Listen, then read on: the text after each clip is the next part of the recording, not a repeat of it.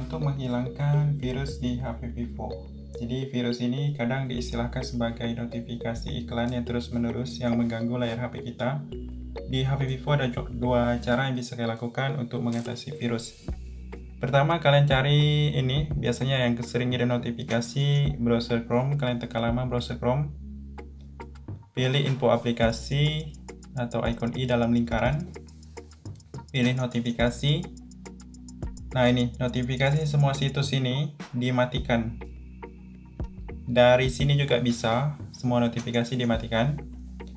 Kedua, periksa di bagian pengaturan, buka pengaturan.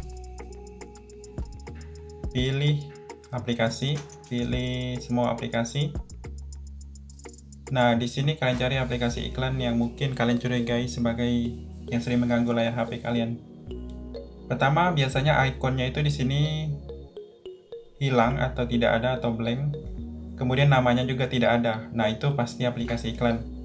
Kedua, kadang dia nyamar jadi aplikasi lain. Kalau misalkan ada dua aplikasi cuaca, salah satunya pasti aplikasi iklan. Kedua, dia bisa li kita lihat di sini di bagian data seluler dan WiFi. Nah, data latar belakang kalian lihat. Kalau banyak menggunakan data, berarti itu aplikasi iklan. Kalau kalian sudah nemu, kalian periksa satu-satu bahwa itu aplikasi iklan, langsung kalian copot saja. Caranya seperti ini.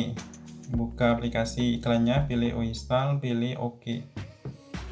Jadi harus periksa. Coba setelah kalian hapus apakah ada.